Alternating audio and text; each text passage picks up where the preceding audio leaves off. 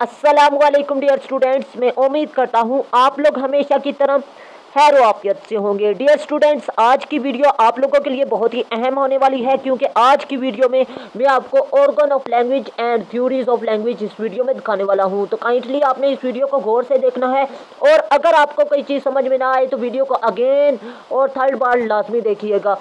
सबसे पहले जी language is a means of communication with each other through it people understand each other feelings thoughts and sorrows ज़बान एक दूसरे से बातचीत का ज़रिया है। इसके ज़रिए इंसान एक दूसरे के एहसास ख्याल और दुख, सुख को समझता है। समझता है जी now the question is how did the language begin अब सवाल ये है कि ज़बान की इब्तदा कैसे हुई? There are two main sources of language divine sources and natural sources of language ज़बान के दो ज़रिए हैं जी, एक नेचुरल और दूसरा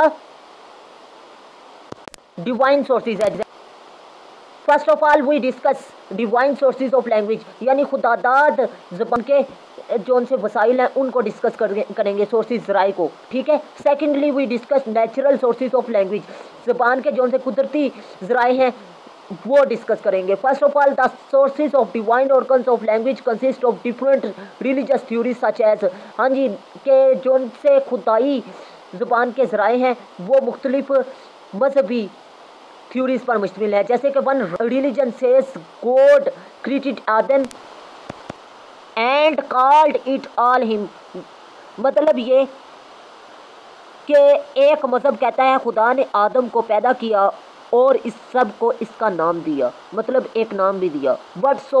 Whatsoever and Adam called things which has been the title which मतलब ये है कि आदम ने इन चीज़ों को क्या कहा? इसका मौजू क्या था? इसको कोई ना कोई तो नाम दिया ना आदम ने।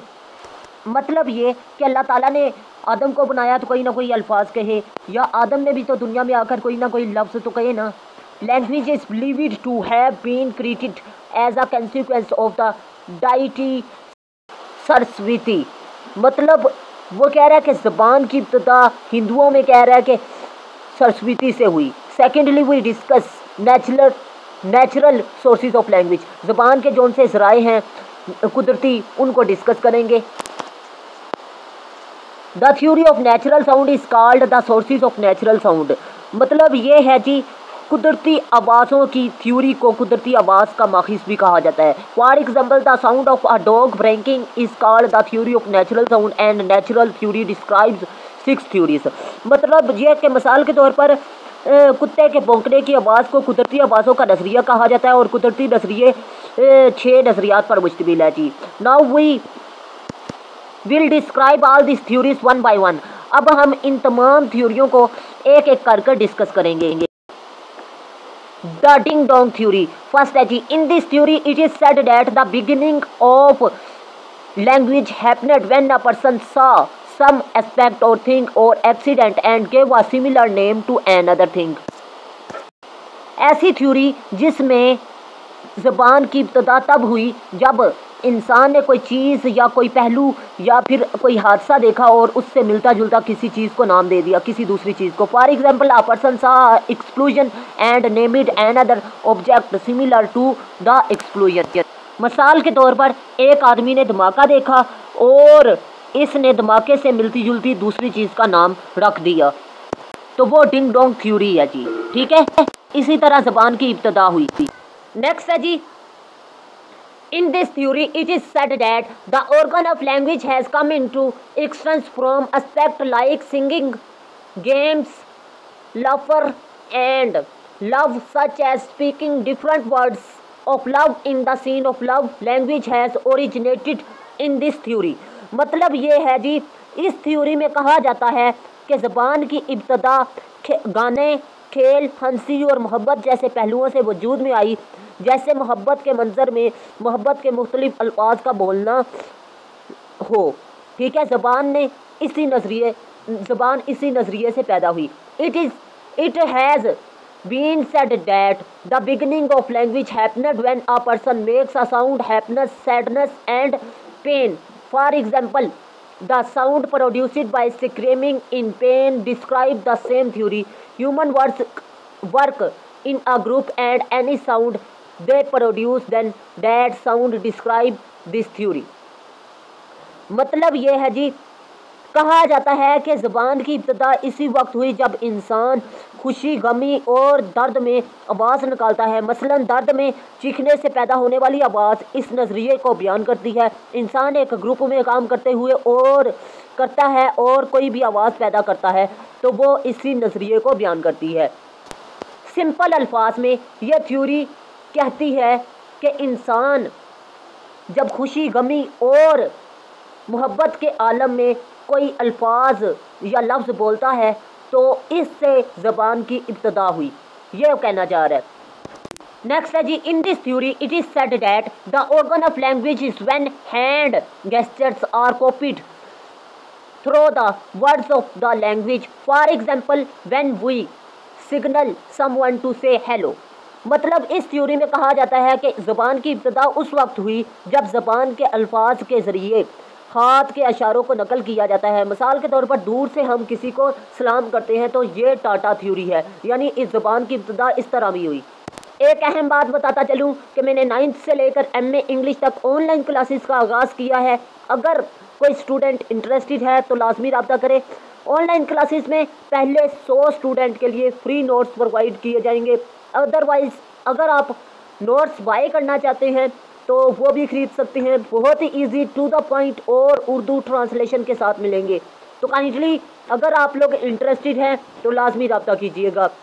Next the bow wow theory it is said in this theory that language originated from the speech of animals such as dogs barking मतलब इस थ्योरी में कहा जाता है कि इस ज़बान की इब्तदा जानवरों के बोलने से हुई, जैसे कि कुत्ते का भोंकना है।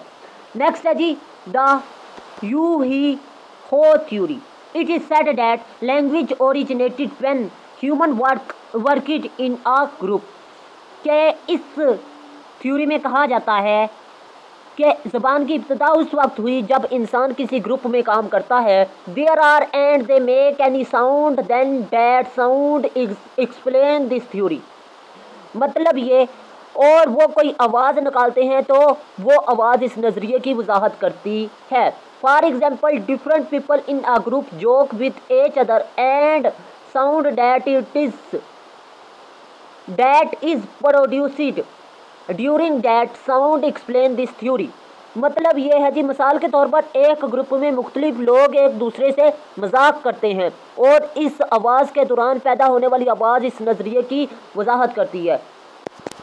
सिंपल अल्फाज में यह थ्योरी उस हालत को बयान करती है जब इंसान ग्रुप में काम करते हैं और उस ग्रुप में इंसान कोई मज़ाक करता है तो उससे ज़बान की इब्तदा हुई। ये चीज़ ये थ्योरी बयान कर रही है।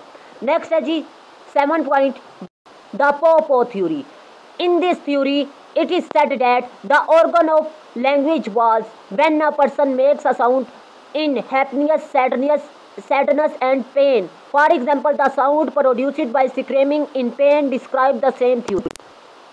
इस थ्योरी में कहा जाता है कि ज़बान की इब्तदा उस वक्त हुई जब इंसान खुशी, गम और दर्द में आवाज़ निकालता है। मसलन, दर्द में चीखने से पैदा होने वाली आवाज़ इस नज़रिए को बयान करती है जी। मिसाल के तौर पर इंसान दर्द की हालत में चीखता है और इस चीने में जो आवाज़ पैदा होती है, इससे नज़रिए के मुताबिक वो जो आवाज़ पैदा हुई है, उससे ज़बान की इब्तदा हुई। मतलब चीखन की इब्तदा हुई है। नेक्स्ट है जी at the end the dictation dictation भी कह सकते हैं डिस्कशन भी कह सकते हैं। We can say that this theories about the organ of correct and incorrect because the organ of language was bare on two hypothesis मतलब ये है कि ज़बान की इब्तदा के बारे में नज़रियात दुरुस्त भी है और गलत ये थ्योरिया जो है, ये गलत भी है और दुरुस्त भी है। क्योंकि ज़बान की इब्तदा दो मफूज़ों पर दी थी। एक नेचुरल सोर्सिस था, ज़बान की इब्तदा का, और दूसरा कौन सा था?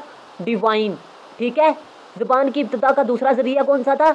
Divine sources and we can prove both hypothesis to be correct और नॉट और हम इन मफरूज़ात को दुरुस्त भी साबित कर सकते हैं और नहीं भी दुरुस्त साबित कर सकते। This myth myths about language are both true and false ज़बान के बारे में ये जो उनसे मफरूज़े हैं, ये दुरुस्त भी हैं और गलत दोनों हैं। ठीक है? ये आपकी आपका हरफ आखिर है। ठीक है, मैं उम्मीद करता हूँ आपको वीडियो अच्छी लगी। वीडियो अच्छी लगी तो लाजमी लाइक कीजिएगा, दोस्तों के साथ लाजमी शेयर कीजिएगा। और अगर आप मेरे चैनल पर न्यू है तो काइंडली मेरे चैनल को लाजमी सब्सक्राइब कर ले और साथ बेल आइकन के बटन पे जाके ऑल पे लाजमी प्रेस करें। अल्लाह हाफिज़।